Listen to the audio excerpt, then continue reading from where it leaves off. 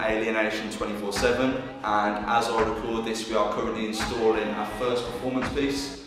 It is called Alienation 24-7 and it is revolved around the workplace and it will be housed at the Lanchester Gallery which is attached to Coventry University.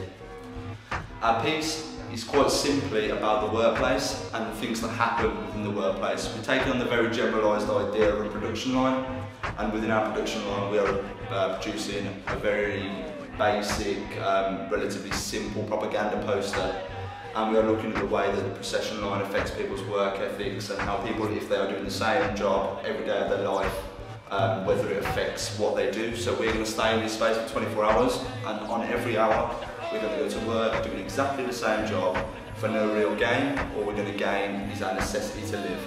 Um, our main intention is to challenge the idea of authorship, um, authority and the idea of mass production and we are really interested in the fact of um, who really owns the work when we finish it and we just really want to question the art market at the moment where people are producing copious amounts of the same work just for financial gain instead of enjoying the process.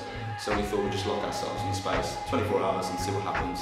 Hopefully it works well, maybe we'll do another one. If not, we'll probably all be in a corner crying. Thank you.